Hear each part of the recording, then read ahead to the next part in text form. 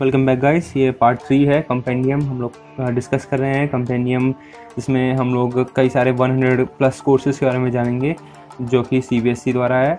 और हमने part one और पार्ट टू कंप्लीट कर दिया है, ठीक है? पार्ट टू में हम लोगों ने रोबोटिक्स कंप्लीट किया था, उसके आगे के कोर्सेज हम लोग कवर कर रहे हैं। तो जल्दी जल्दी देखेंगे, ताकि जल्दी जल्दी हम लोग मैक्सिमम कोर्सेज कवर कर सकें। वीडियो को बीच बीच में पॉज करके आप उसकी डिटेल्स पढ़ सकते हैं। मैं ज़्यादा डिटेल्स कर नहीं जाऊँगा, मैं आपको बेसिक बताऊँगा, चीज़ें दिखाऊँगा। ज़्यादा चीज़ें बोलूँगा आपको सुनना है और साथ में आ, उसे वीडियो को पॉज करके उसी समय जल्दी से देखना है और आगे बढ़ना है। ठीक है? आगे बढ़ते हैं। टेक्सटाइल इंजीनियरिंग के बारे में बात करते हैं। Textile engineering ten plus two के साथ टेंथ या ट्वेल्थ लेकिन डिप्लोमा होना चाहिए। अगर सिर्फ़ टेंथ से जा रहे हैं तो ट्वेल्थ से डिप्लोमा के लिए आप देख सकते हैं। Ten plus two P C M से होनी चाहिए। ठीक है? बीई और बी टेक आप कर सकते हैं। यहाँ पे इंट्रोडक्शन इसका लिखा हुआ है सिंपल सा है। अगर टेक्सटाइल इंजीनियरिंग के बारे में आपको नहीं पता तो इसका इंट्रोडक्शन देखिए।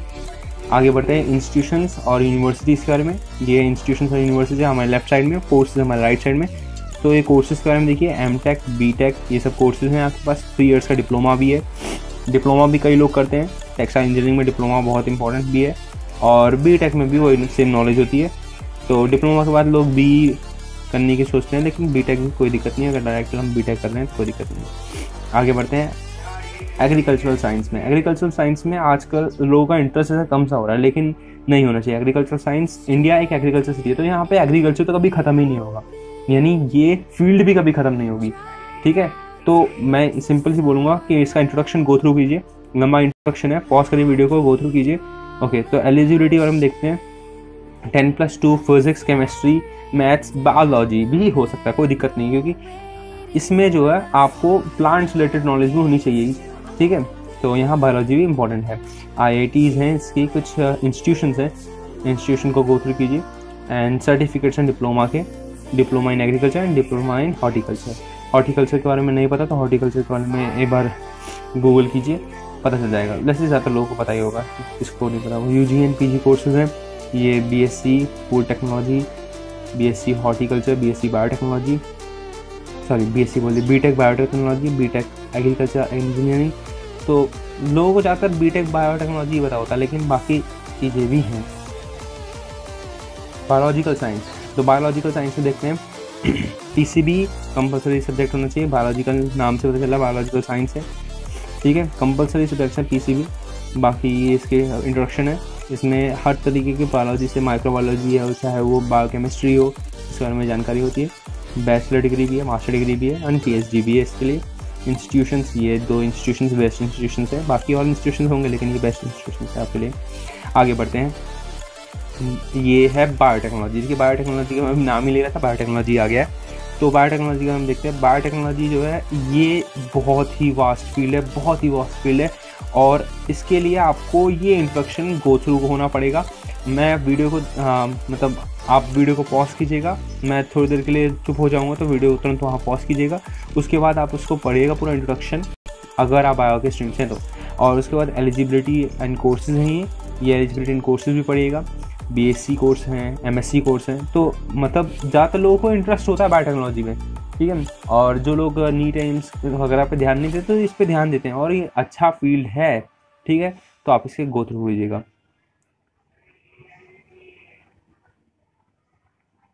ओके तो ऑल इंडिया एंट्रेंस एग्जामिनेशन होता है बायोटेक्नोलॉजी का। उसे आप क्लियर कीजिए और आप best of the best institution में जाइए। ये कोर्स की स्टडी कीजिए। इंपॉर्टेंट है हर बायो वाले बच्चे के लिए। ओके गो थ्रू होते हैं। आगे computer application okay computer application यानी बी सी ए वगैरह की बात होगी सिंपल सी बात है। बी सी ए के बारे में हर बच्चा जानता ही है नॉर्मल सा है बी सी और डिप्लोमा कोर्स है। ओके डिप्लोमा कोर्सेज में ज़्यादा इसका फ़ील्ड नहीं है। अगर आपने बी सी करा है तो आपको एम सी करना चाहिए तो जॉब अच्छी मिलेगी अच्छा कोर्स है। आपके पास नॉलेज होनी चाहिए, बात खत्म। नॉलेज बहुत इंपॉर्टेंट है, देखिए, ज़रूरी नहीं है कि कोर्स ये डिप्लोमा ये, हमारे पास ग्रेजुएशन का ये, नहीं, ज़रूरी नहीं है। ज़रूरी है नॉलेज देखिए यू जी कोर्सेज के बाद हम पी जी कोर्सेज करते हैं। फिर पीजी के बाद भी कुछ लोग सेटिस्फाइड नहीं होते कि यू नो अच्छी जॉब नहीं लग रही। फिर उसके बाद हम लोग पीएचडी करेंगे, नहीं तो मतलब कुछ नया करते रहेंगे करते रहेंगे। तो उसके लिए आपके पास नॉलेज होनी चाहिए। अगर आपके पास उसकी नॉलेज भी है, इसकी नॉलेज भी है तो ज़्यादा नॉलेज रखने की वजह से क्या होगा कि आप हर जगह पर अपना ध्यान दे सकते हैं। मैं इधर भी दे सकता हूँ इधर भी जा सकता हूँ। ठीक है? और जहाँ से आपको बेस्ट ऑप्शन मिलता है, आप वहाँ गो थ्रू तो अच्छा तरीका है। यूनिवर्सिटीज़ हैं, ठीक है? गो थ्रू उसके बाद कंप्यूटर साइंस है। कंप्यूटर साइंस नॉर्मल सी बात है, सबको पता है। ये कंप्यूटर साइंस ये courses offered by N I E L T ये इसके द्वारा कोर्सेज ऑफ़र होते हैं। A level B level C level equal to M tech है। C level B level equal to M C degree है। A level advance diploma है। ठीक है? ये कोर्सेज होते हैं। बी एस सी होते हैं बी सी ए होता है। यू जी कोर्सेज हैं। बी टेक भी होता है कंप्यूटर साइंस से। ठीक है? पी जी कोर्सेज हैं। और ये डॉक्टरेट लेवल है। Cyber security. साइबर सिक्योरिटी भी इम्पोर्टेंट है। साइबर सिक्योरिटी आजकल मतलब अगर मैं बात करूँ तो दस में से तीन तीन बंदे जो हैं, वो साइबर सिक्योरिटी के बारे में सोचते हैं। क्योंकि साइबर सिक्योरिटी इंपॉर्टेंट है? लोगों को इंटरेस्ट भी आता है। बच्चों को तो खासकर इंटरेस्ट आता है। टेंथ, ट्वेल्थ के बच्चों को मैंने खूब देखा है कि साइबर सिक्योरिटी में इंटरेस्टेड है। तो साइबर साइबर सिक्योरिटी आपके लिए अच्छा ऑप्शन है। Ten plus two science stream से होनी चाहिए। आपके पास नॉलेज होनी चाहिए। सबसे इंपॉर्टेंट बात है। और इंस्टीट्यूशन ये रहे कोर्सेज ये रहे उनको गो थ्रू कीजिए। देखिए इसके बारे में, जानिए। और साइंस एंड जोग्राफी और साइंस एंड जोग्राफी ज़्यादातर लोग नहीं देखते हैं, लेकिन फिर भी दिखा रहा हूँ, क्योंकि ये देखिए सीधी सी बात है, मैं ये एक तरफा नहीं लेके चलूँगा। मैं साइंस स्ट्रीम लेके, या फिर कॉमर्स या बायो लेके नहीं चलूँगा। मैं हर चीज़ देखूँगा ना। तो आर्ट्स वाले बच्चों के लिए भी इम्पोर्टेंट है टेन प्लस टू अगर आपने करा है तो और साइंस जोग्राफी से आप अच्छा मीन्स अच्छे पाथ में जा सकते हैं। तो ये कोर्सेज हैं आपके पास। कोर्सेज खूब सारे हैं। सिक्सटीन कोर्सेज लिखे हुए हैं यहाँ पे। होंगे तो पता नहीं कितने। लिखे हुए हैं सिक्सटीन है। तो कोर्सेज पे जाइए देखिए। इंस्टीट्यूशन ये रहे। इसके बारे में पढ़िए। आप डीयू में भी इसको देख सकते हैं। तो यहाँ पे नाम इसका लिखा हुआ होगा। हाँ देखिए फिफ्थ पोजिशन पे डी है। देख सकते हैं। आगे बढ़ते हैं। एनवायरमेंटल साइंसेज में। एनवायरमेंटल साइंस है। एनवायरमेंटल साइंस एरिया बहुत ही सही है। पर ये वही बात आती है। एनवायरमेंटल साइंस में ज़्यादातर बच्चे वही जाते हैं जो ten plus two P C B से करते हैं। देखिए लिखा भी हुआ है। ठीक है? और ये कुछ एक्स्ट्रा नॉलेज दे रखी है आपको। अगर एक्स्ट्रा नॉलेज पढ़नी है तो please pause the video and read it fishery science है। फिशरी साइंस ये भी बायोलॉजिकल के लिए है। मीन्स बायोलॉजी से स्टडी करिए आपने। जा सकते हैं। ठीक है? In fishery fishery science okay और इंस्टीट्यूशन है इसकी। बाकी ये आगे आते हैं फोरिकल्चर एंड हॉर्टिकल्चर अब देखिए फोरिकल्चर एंड हॉर्टिकल्चर हॉर्टिकल्चर का हमने पिछले वीडियो में शायद इसके बारे में डिस्कस किया था जैसे याद नहीं रहता मुझे। बाकी हमने डिस्कस किया था तो पार्ट वन और पार्ट टू वीडियोस अगर आपको फिर भी मैं फिर से बता देता हूँ, देखनी है, क्योंकि वो इंपॉर्टेंट हैं, उन्हें देखना है आपको। नीचे डिस्क्रिप्शन में आपको लिंक मिलेगा, उस पर जाइए पार्ट वन और पार्ट टू वीडियोस के कोर्सेज को भी देखिए। उसमें साइंस स्ट्रीम बायो स्ट्रीम और साइंस स्ट्रीम के कुछ ना कुछ इन्फॉर्मेशन दे रखी है कोर्सेज के बारे में बता रखा है। तो देखिए, कम से कम कुछ नहीं तो उनके नाम भी अगर आप देखेंगे तो उनके बारे में सर्च तो करेंगे। आपको इंटरेस्ट तो आएगा तो प्लीज़ जल्दी, क्योंकि इसमें ज़्यादा से ज़्यादा आपका एडवांटेज होना चाहिए। फोरिकल्चर को देखते ज़्यादा लंबा नहीं करेंगे वीडियो को जल्दी जल्दी करेंगे। टेन प्लस टू पी से या पीसीएम से, किसी से भी हो, आप इसे कर सकते हैं। देखिए यहाँ आ गया ना P C B and P C M देखो, दोनों में कर सकते हैं। अब ऐसा नहीं है कि हम लोग अगर इंजीनियरिंग कर रहे हैं तो यानी पी सी एम है हमारे पास तो हम लोग इंजीनियरिंग ही करेंगे। नहीं यार horticulture you know horticulture and floriculture हम लोग ये भी कर सकते हैं। तो इसके बारे में नॉलेज होनी चाहिए। नॉलेज ये प्रोवाइड कर रहा है। बहुत अच्छा है ओके तो कोर्सेज हैं और ये इंस्टीट्यूशन हैं। इनके बारे में गो थ्रू हुई है आगे देखते हैं food technology food technology study of food safety and food science ठीक है? Ten plus two P C M या पी सी बी साइंस से होना चाहिए।